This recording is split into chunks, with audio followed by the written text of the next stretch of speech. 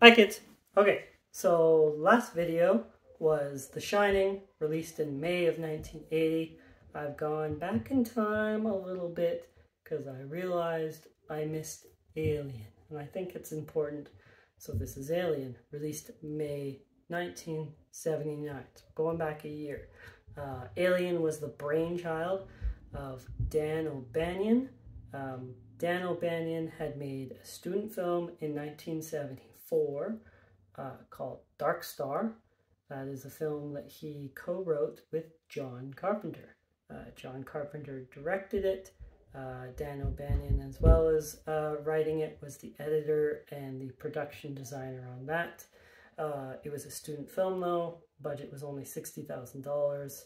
It is about a alien on a spaceship. Uh, O'Bannon wasn't happy with the quality of Dark Star and felt like they could do much better with a better budget. So he wrote the script for Alien. Uh, took it around trying to find somebody to finance it. Uh, brought it to a new production company called Brandywine Productions uh, that consisted of uh, three men. One of them is Gordon Carroll, who was a film producer. The other was uh, David Giler. Uh, his father was a writer, and when he came of age, he joined his father, wrote with him. His father passed away. He decided to become a producer. And the third was Walter Hill. Walter Hill was a film director, uh, directed genre films, uh, 48 Hours, uh, Red Heat, Warriors. Um, so he joined them. There's the production company. They liked Alien. Um, the three of them, though, uh, had a crack at rewriting the screenplay, which O'Bannon wasn't too happy with. Uh, they added subplots that he wasn't happy with. Uh, they added the character Ash, so that's one thing that they added that made it to the final product. Um, so then they're pitching it to studios, and they pitch it as uh, Jaws in space, because what's the most popular things in the 70s? Jaws and Star Wars. And they tell studios, this is both of those things. 20th Century Fox bites. Um, they'll make it. Now they just need a director. So um, O'Bannon had wanted to direct it, but he wasn't confident in himself directing some of the special effects that were required. Um, Walter Hill would have directed it because he's a director, but he had prior uh, commitments, scheduling conflicts, so he wasn't going to be able to direct it. So they found Ridley Scott. Ridley Scott had just directed his first feature-length film, The Shootist. Uh, they seen that. They liked it. Prior to The Shootist, Ridley Scott was a, he directed commercials, um, like George A. Romero. So they approach Ridley. Ridley, of course, says yes. Um, and they start pre-production. They're waiting for the studio to give them the budget, or they start spending the money. Um, while they're waiting, Ridley Scott does storyboards for the entire script. Uh, the studio sees the storyboards and decides to double what they were originally going to give for the budget. So the budget ends up being $11 million. Um, for the look of the alien and all of the technology associated with the alien, uh, Bannon had uh, been attached to a movie that didn't get made, Jodorowsky's Dune. There's a documentary called that. Want to learn more about that. Uh, but basically, it was an adaptation of Dune. Um, one of the other people attached to that was uh, Swiss artist H.R. Giger. Giger is known for his uh, biomechanical art. So uh, Bannon liked the look of that, thought it would fit his alien, so he brought him in to do that. Um, as for playing the alien, I'm going to probably butcher the name, but here it is. So it, uh, they found uh, Bolaji Badejo. Um, he was a Nigerian immigrant uh, to the UK. Uh, he was a visual artist student and uh, someone from the production saw him at a bar. He was six foot ten and they approached him about playing the alien.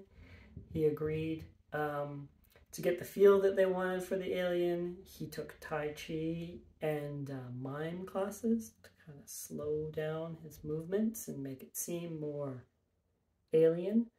Uh, and then they did casting.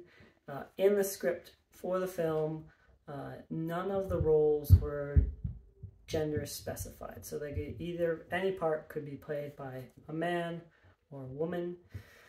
Uh, so that's how you get characters like Ripley, the way that Ripley is written wasn't uh, written for women. Uh, and Sigourney Weaver, I think, was the biggest unknown, maybe one of the youngest in the cast. They went for more of a experienced um, cast or older cast, right, to portray a more experienced crew on the ship.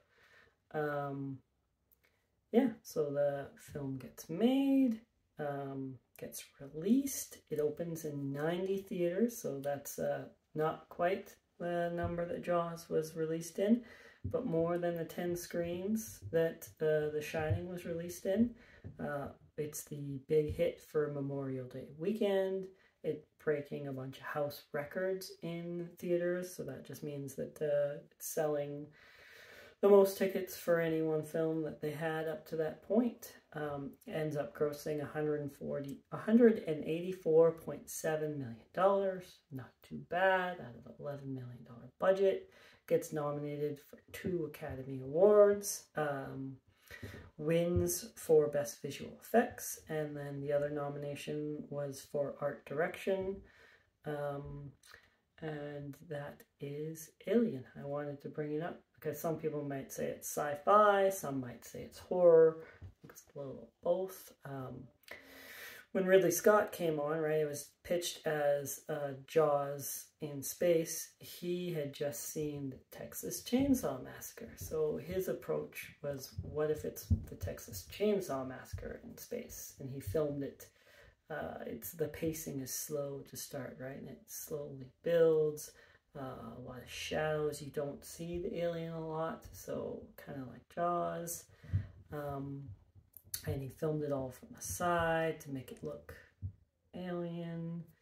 Um, yes, but it's uh, yeah, it's a little bit of slasher. You got the final girl there, right? Ripley. It's a different take on the final girl because it wasn't written for a girl. Uh, there's some body horror, there's gore, a little bit of everything for your horror fans, right? Uh, the other thing I wanted to mention that I didn't mention in a previous video was the Bechdel test. So the Bechdel test is a, basically a really low bar for representation of women in film. And there are basically just two guidelines for the Bechdel test.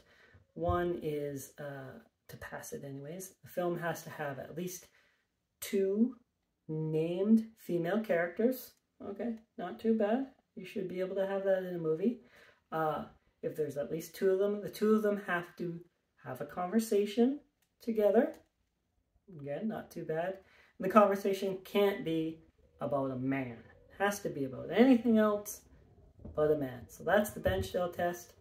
Alien is one of a handful of horror films that pass the test. There's probably 45 in all of horror. Um, one of the ones that we've covered that previous that passed the test is obviously Carrie, because there's pretty much all women and no men in that movie, right? Okay, so that's Alien. That's the Bechdel test. You're welcome.